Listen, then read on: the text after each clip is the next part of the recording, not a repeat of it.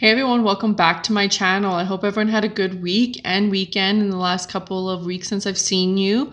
Um, last week we talked about, why can't I remember his name? Vince, Vincent Li and how he murdered Tim McLean on the bus.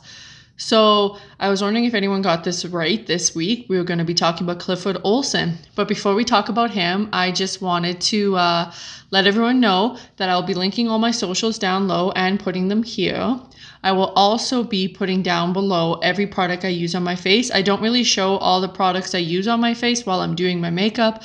And I know a lot of you have uh, requested that I did do that, but I just want to let everyone know that it will be down below. So if you guys do decide that, oh, I wonder what she's using, or I like that palette, or the eye makeup looks great, I wonder what she used, it will be linked below. So with further ado, let's get into Clifford Olson. All right, I'm just jumping on here quickly to let you guys know that I forgot to do a disclaimer. This story is not appropriate for children. This story has some graphic uh, events that have happened that I do say. So please do not watch this if you have if you feel like you can't handle it and you just tone it off, I totally understand that. This is a very dark story of something that has happened. A man did some horrible things. So I'm just putting a disclaimer on here that there is talk about sexual assault, there is talk about murder, there is talk about abducting children. So please, if this is any of these things are uncomfortable to you, please do not continue. And I totally understand if you don't continue because this is a dark story. So let's go on with the story. Clifford was born in 1940 in Victoria, BC. He was the eldest child of Clifford and Leona. Clifford Jr. grew up in a small house near the Pacific National Exhibit grounds. Clifford Jr.'s dad, Clifford Sr., delivered milk in those days. He was the last milkman to use a horse and buggy, so that was kind of cool. Clifford's mom, Leona, was a housekeeper and she mostly spent her times working and taking care of Clifford. Clifford was her light, her joy, her everything. She nourished him, she took care of him, she did everything for Clifford while he was growing up.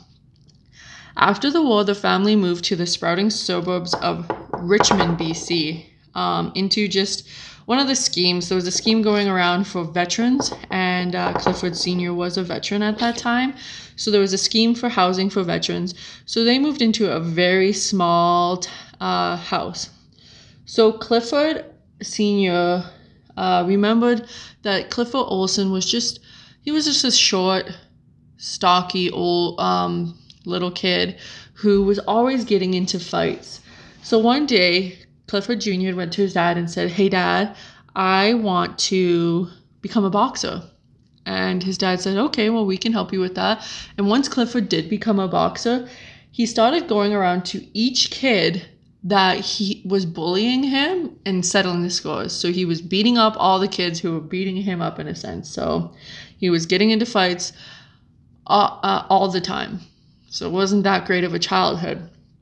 So he started skipping school around the age of 10, and once he completed grade 8, he quit altogether and started to embrace the life of crime. Leona bore two more kids, uh, Richard and Dennis, so she had two more sons and a daughter named Sharon. All of them grew up to be law abiding middle class citizens. Nothing was wrong with them. They followed the rules, they finished high school, they did all that. And then there was Clifford. Clifford Jr was a loner. He was a loser. He was a failure to the family. He just always got into fights. He was always starting drama. And he went to jail for the first time in 1957 at the age of 17. So, over the following 24 years, Clifford chalked up over a hundred different convictions. He had DUIs, stolen properties, break and entering, obstruction of justice, just to name a few. So in 1965, Clifford was serving three and a half year sentence because of break and enter. So Clifford was kind of a scheme. He always tried to like he broke out of jail a lot. He was known to always consistently break out of jail. So he started going to the library at the jail he was at and he would read books about this one certain illness. So as he was reading the books about it, he would tell the gods that he wasn't feeling good, but he wouldn't automatically say like uh, this is my disease. I feel this way. These are the symptoms. I must have this. He would say he's not feeling good, wait a couple weeks, and then up the symptoms. So it looked like he was getting pretty serious. Like, oh, this guy's actually really sick. So the gods took him to the police or the, the doctor on site at the penitentiary. And the doctor said, hey, you're going to have to pee in a jar and then we're going to do some tests. So when Clifford went to go pee in a cup, he cut himself so that pee, like the blood would get into his pee, so it looked like he was peeing urine. So once that happened, the doctor at the time was like, okay, this is really serious. He has blood in his urine. We're going to have to ship him to a different hospital. So, as he was getting shipped to the hospital, he waited for the perfect time. So, he was sitting there in his, um, in his area, in his unit, in his hospital bed, and he waited until the RCMP or the police who was with him left him unattended. And that's when he struck. He jumped out the window and he escaped. So this was about, I think, the chase involved a, over a hundred different officers, and he was out for about a week on the loose. So Clifford was finally nabbed at the border of Washington because one of the dogs named Tigger, who was a police dog, sniffed him out, and that's how he got caught, and he got brought right back to jail. Once Clifford got back into jail, he was known to prey on children, not not like children children. He was known to prey on 17 year olds, 16 year olds, people who were younger who did come into jail and was forced to be in the um, penitentiary with adults.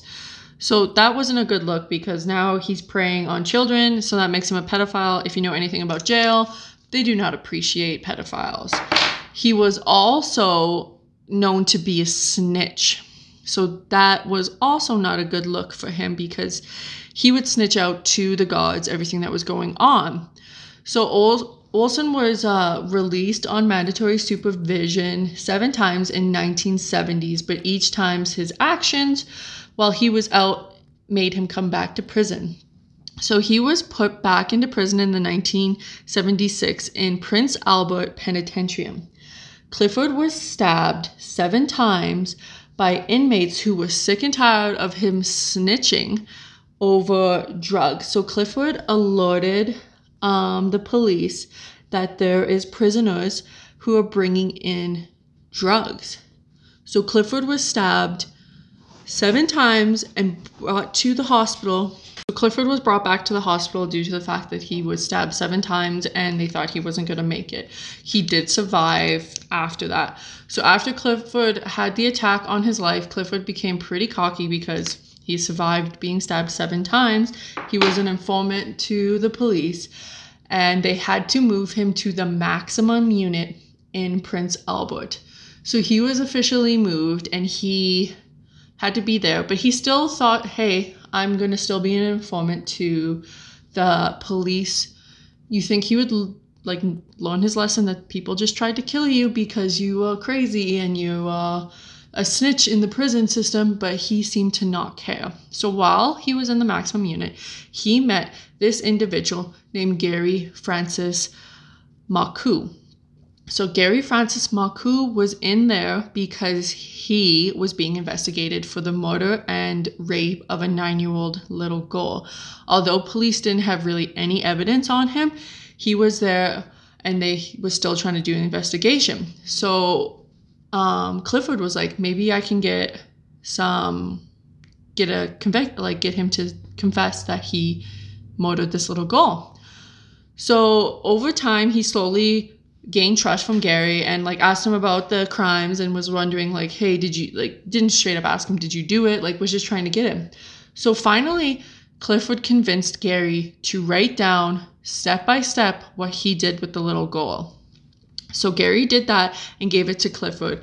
Um, Clifford did say that he did think that Gary was, oh, sorry.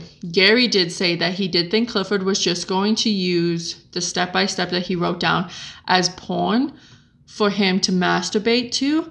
So that was another, so that's what all he thought he was going to use it for. So, As Clifford Olson talked to Gary, he was learning from Gary's mistakes. He would read, he would understand what Gary did wrong and why Gary got caught. Clifford slowly started to dream about what he would do differently if he got released. He was determined that he could do it better than Gary. So he so Gary was finally convicted. He was convicted and sentenced to 25 years with no parole. So while one child killer was put behind bars, there was another child killer just sitting there waiting to get released and ready to start his journey of becoming one of the worst serial killers in Canadian history. So Clifford was released from prison in the 1980s of January and he was 40 at the time. Once Clifford was released, he went back to his usual life of crime.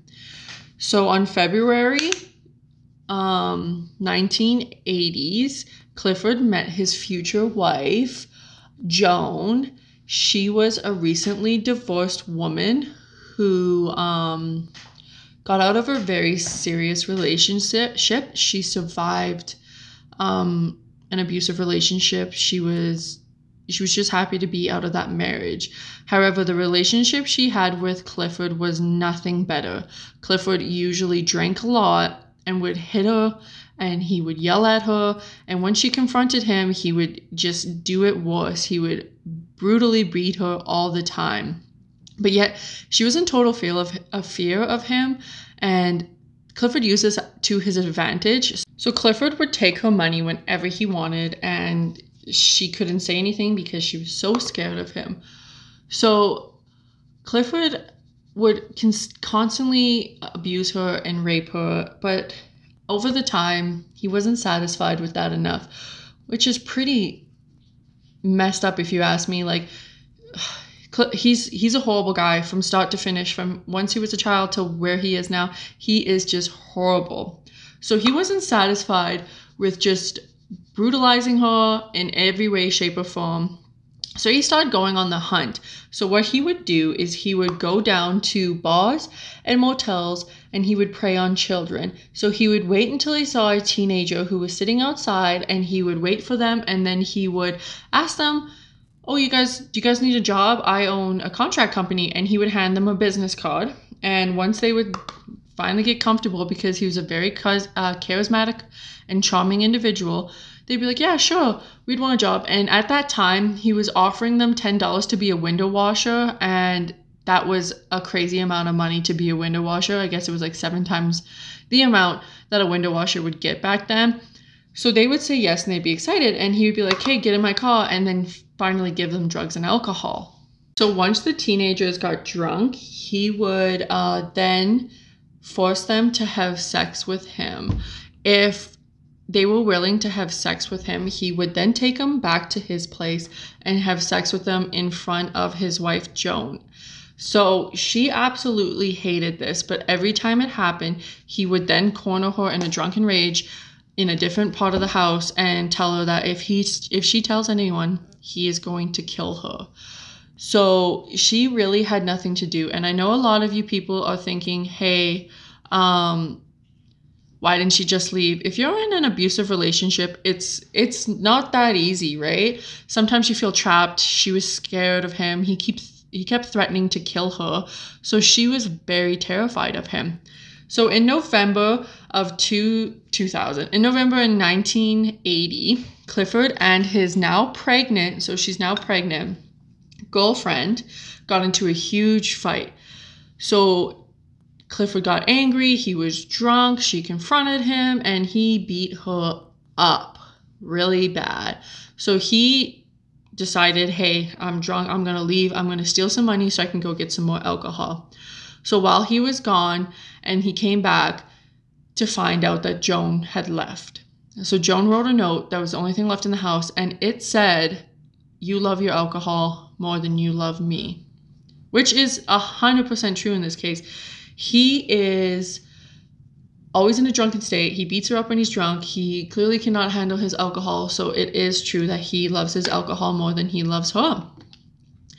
So he was pissed. So he's decided I'm going out looking for her because he was scared at that time that she was going to tell somebody what he had been doing, how he's been um, sleeping with teenagers, how he's been abusing her and raping her. So he's like, I have to get out there and I have to find her before she decides to tell the cops, to tell her family, to tell her friends what is going on. So while Clifford was out looking for her, he got distracted from one, he is drunk at this point. He got distracted and he decided that well, he didn't decide anything. So he saw Christina Weller was um, riding her bike to the motel that she was staying at. So he struck up a conversation with her, his usual little conversation that he struck up with anyone, and he asked her what is she doing, became charming to her, and then asked her if she wanted a job. And she said, yeah, she does. So it's a poor neighborhood. She was poor. She was living in a motel. It wasn't the best place for her, right? So she did say, yeah, she would like a job. And then he offered it to her. And then he said, Can I give you a ride home and let you meet the other employees and we'll have a beer to celebrate? And she was like, Hell yeah, let's do it, right? So she got into the vehicle with Clifford and they proceeded to have beers. So then they ended up at a random house and Clifford said to her, Hey, um, we're just waiting for another employee to get here and um, then he kissed her and she kissed him back which is she was pretty young at the time. I think she was like 13 or 14 which was pretty gross. So then he kissed her back and then was like do you want some weed? But if you want the weed you're going to have to come with me and go pick it up. And she definitely agreed um, to this. And at the time he kept giving her beers and more beers until she was passed out so then when he went to, back to his house, he realized she wasn't there. Joan wasn't at his house anymore. She was she just she left, right? His wife or it was girlfriend at the time was gone. So he grabbed a bunch of sleeping pills. So when he got back, um, Christina realized that he didn't have the weed and she mentioned it to him like oh you don't have the weed and he's like i got something better for you. So that's when he gave her sleeping pills and drove around until she passed out. Once she passed out he pulled her out of the car and he forced himself on her multiple times. He took her body afterwards well not her body he took her to a riverbank and then strangled her and proceeded to stab her multiple times. After he was done with that, he decided that he was going to hide the body in a blackberry bush. Clifford cleaned out his car once he got home and burned the clothes that he was wearing and then asked his girlfriend Joan when she got back if they could go on a little vacation just because he wanted to you know have an alias or have like hey I'm I was gone. I was on vacation when that happened. That can't be me. So that's what he did. So he proceeded to do that. Christina's family assumed that she was a runaway. She was known to consistently always try to leave. She was running away multiple times. So they didn't think anything of it. And they didn't even call the cops because they were like, she's a runaway. There's nothing. There's nothing we can do. She probably just disappeared somewhere. We're not going to call the cops. She was riding a friend's bike at the time, and the friends who had the bike was very much concerned. But when he tried to call the cops, they said that you cannot um, file a missing persons report for a teenager or a youth unless you are a family. And since her family didn't seem to care, nothing was done. And Clifford was not a suspect at all. And he now has the first taste of murder. So he got away with it. He literally got away with murder. He thinks that he is the best. He followed, he remembers what Gary did, and he did the opposite of that, and he never got caught. So then from November to April of 1980s, uh, Clifford didn't do anything. So he didn't um, murder anyone. He kind of laid low and he just went back to his normal raping of people instead of actually murdering them. So then um, he started getting tired of that. So he was kind of thinking, like, you know what, I could probably do better than this. I could probably, um, he was like, this isn't enough. I need to go back and murder someone. So in April of 1916, 1981, uh, Colleen, oh my God, sorry, Colleen, she was 13 at the time, and she was a short young lady, and she was coming back from a friend's house, and that's when, um, why does this one look so brown and this one looks yellow? I mean, orange. Why is this brown? What is happening? Oh, okay, I'm going to keep attempting to lay more and hopefully it turns out orange. Alrighty, back to this story. Sorry, makeup mishap. That's what happens on this show. So he picks her up, 13, and he follows his same book of traits. He asks her for a job. He then gives her alcohol and drugs. He proceeds to force himself on her. Just the same old, same old. So he took her to a wooden area and while they were walking he took out a hammer and he proceeded to smash her head in with the hammer and then he would force himself on her again. So then he would force himself on her again and again. And then he did the same thing where he hid her in a bush and that was it with her. Again she was known in the family as to be a runaway so the rcmp seemed to not care. They said that, you know what, she's known to be a runaway, so we're just going to leave it as that, which is really sad. Doesn't matter if the kids are runaway, like, where are they? They are youth. They can't really survive on their own, or they probably don't have any money, so you think that they would do something. So on April 22nd, 1981, 16 year old Darren had got into Clifford's car Clifford gave him drugs and alcohol and followed his usual playbook. He would wait until the individual was passed out or super drunk, and then he would force himself on top of him. Clifford um, killed Darren and left his body again in some bushes and tried to hide him so he wouldn't be found.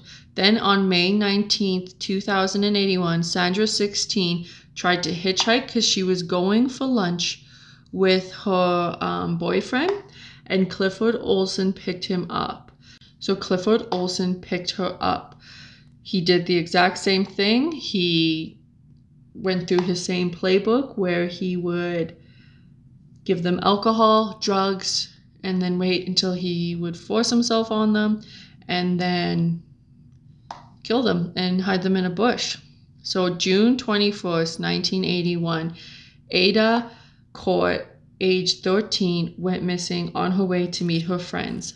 So, unlike the other victims, Ada was from a very well known family, was from a family who wasn't broken up, who was very peaceful, who didn't seem to have any concerns. So once she went missing, they instantly called RCMP and reported her missing because they did not know where she went, and that was weird for her at the time.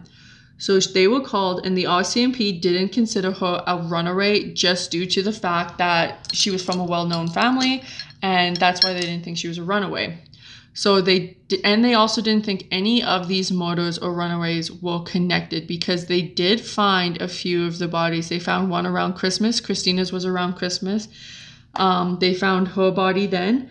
So they just assumed that it was they went missing or they were murdered when they decided to run away and they didn't put any connection to any of these murders altogether um, on July 2nd of 1981 after breakfast, a nine-year-old Simon was on his way to his friend's house when Clifford Olson picked him up. Clifford Olson then brought him back to where he first killed Christina and he did try to reenact the murder. He forced himself on Simon. He stabbed him multiple times. He um, strangled him, and then dumped the body. This one was also reported missing right away due to the fact that Simon was only nine years old and was too young to be considered a runaway. So the RCMP immediately declared him missing. So in July of ni- July 9th of 1981, sorry, um, there was a lady, a lady, a child named Judy who was picked up by Clifford Olson. Clifford did the same thing to her. He forced himself on her while she passed out, and he also murdered her. But he murdered her where he murdered Ada. So he was, uh, or Ada, he kept bringing them back to where he was, where he killed them, his original people.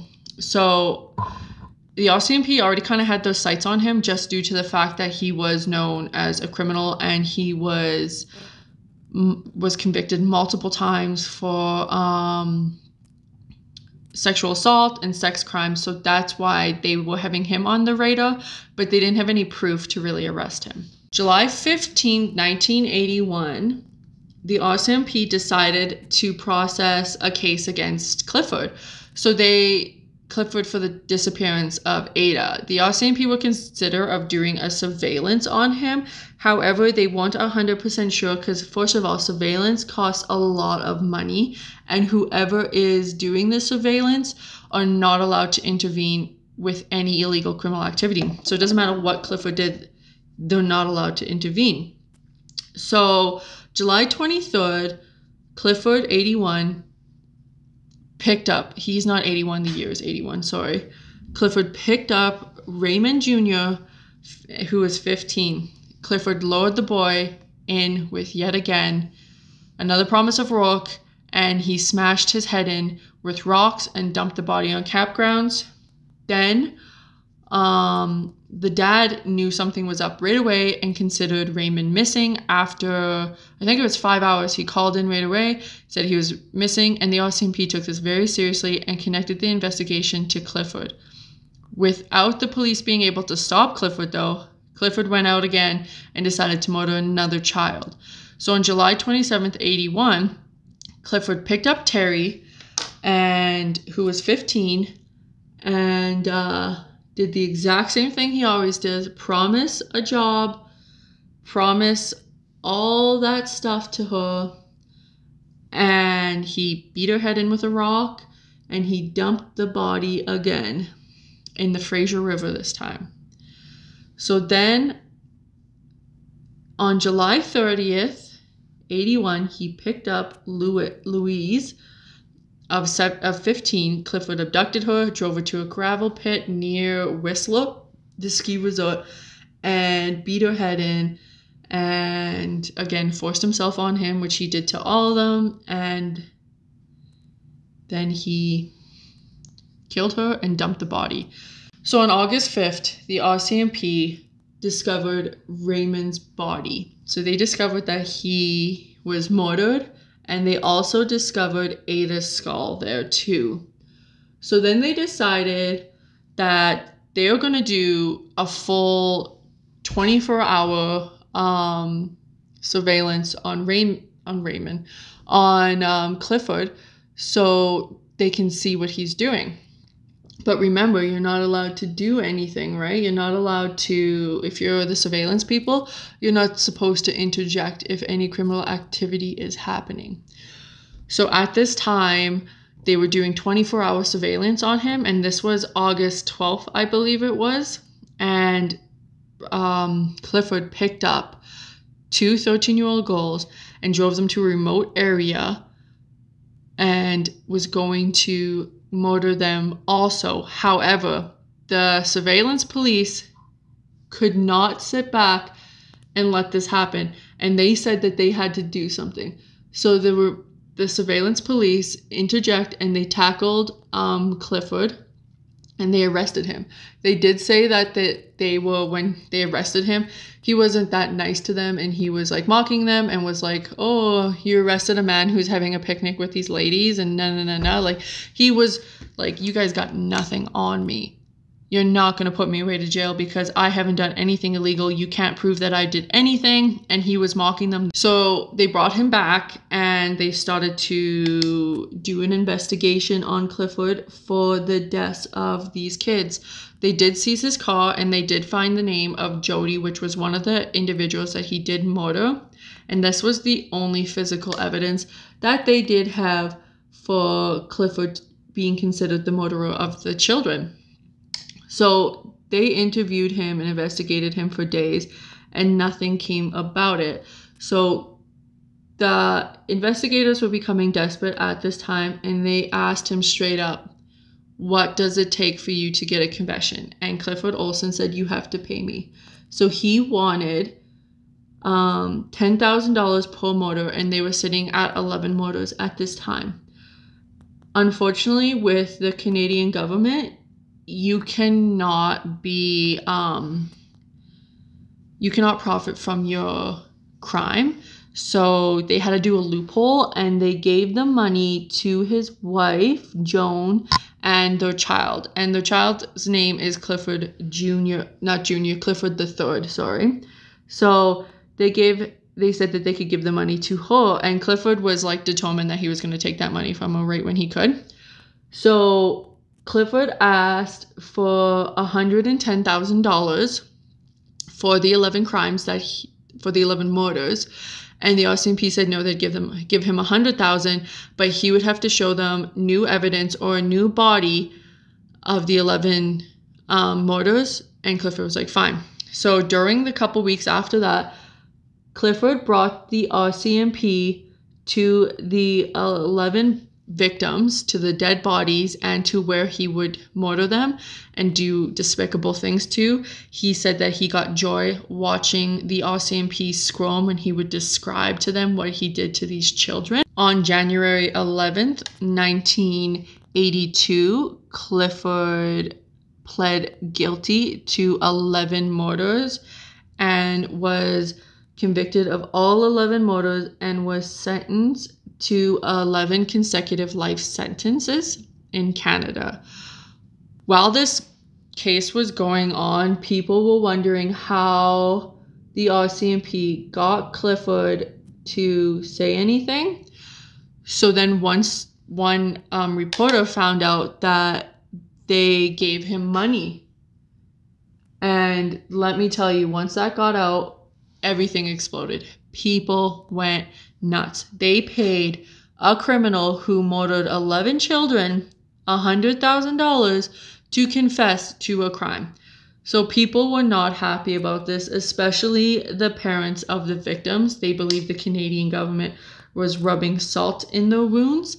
They thought this was just despicable. This was disgusting. They did not enjoy this whatsoever, which, like, you kind of have to admit that it's not great. You shouldn't be paying a convicted murderer money to give evidence about a ch- that they murdered kids. He he was a murderer. He was a child murderer, and he killed eleven kids, potentially more. They never got all the evidence, and now we're supposed to just be okay with it and give him money so he can confess.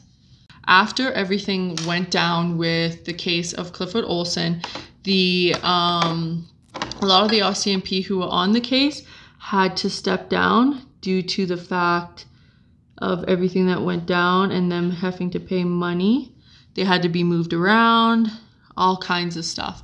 So they were moved around. Also, the families of the murder victims, they were outraged and they could not trust the RCMP who was in that area anymore, thinking that they were just going to pay criminals to give them evidence.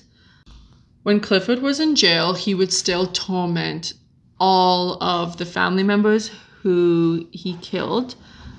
He would um, write them letters detailed in what he did to each one of the kids, which is, to me, that's absolutely horrible. This guy's already done so much to the families, and now he's doing this. Like, can that family catch a break? So he would continually write them letters explaining to them what he did to them, to their kids, to their sons, to whoever. And um, the families were so outraged by this, right? So they decided that they were going to sue Clifford's wife for the money that she got. However, they did not win that trial due to the fact that she was also technically a victim of Clifford Olson. She was beat, she was raped, she was everything. So she did get the money. Um, she finally divorced him in 1985. She divorced him, she changed her name, and she also changed, changed her son's name. So he's no longer Clifford III. No one knows what he is. She kind of vanished, which was probably the best thing for them not to be associated with this guy. So while Clifford was in jail, he served the rest of his life in jail. He was about 71 when he died. He was diagnosed with colon cancer and now he's dead. Um, I don't really know how I feel about this story. I'm going to go put my lashes on and I will come back and give you guys my final thoughts of what I think about Clifford Olson. All right, I am back now, guys. Put on my lashes. We all know that takes a while for me. I'm still not the best at it yet, but I'm getting there. So, what do you guys think about Clifford Olson? I feel like this is another case where the RCMP took their time with it, or they didn't think it was a justifiable case, or they just were like, oh, they're just runaway kids. So I feel like this is the second one that we have gone over where the RCMP kind of was slack. Not trying to like say anything bad about the RCMP in Canada, but it's just what I noticed on the last couple cases. So Clifford Olson is a horrible person. He did some horrible things. I am happy he's in jail. He did die, which is like, don't they all die and they never get to actually like suffer for what they did? Um, I do feel horrible for his wife. He treated her horribly. He did some horrible things to her. And she never got the justice. Yes, he did go to jail, but nothing ever came about it with her. And I feel really bad about that. I am happy that she dipped on him. She took the kid and left. Uh, hope the kid never really gets to know who his real dad is just because of how horrible and what he did. All right, so that is Thriller Thursday for today. So I want to thank each and every one of you guys for coming. I hit over 300 views on my last video, which is amazing. Thank you guys so much. Don't forget to like and subscribe here. I will also be putting my socials here, so make sure you guys follow me to keep up with the updates. I do go on every Saturday and I on my Instagram story and let you guys know or give you guys a hint who I'll be doing for next week. So make sure you guys follow me there so you guys don't miss out on the hints. Uh, next week is going to be Alberta, so let me guys, let me know who you guys think I should do. I don't have anyone in mind particular right now, so let me know what you guys think, who I should do leave a comment down below. If there's anything else you guys think I need to work on, I am working on my beauty room right now. So next week you should see me in a different environment. I won't be sitting here. I'll be having a different wall and have everything all set up there. So I'm super excited about that one. Um, so yeah, let me know guys what you guys thought of this video and what your favorite parts are, what you didn't like, and just let me know what you guys thought. So I will see you guys next week. All right, thank you. Bye.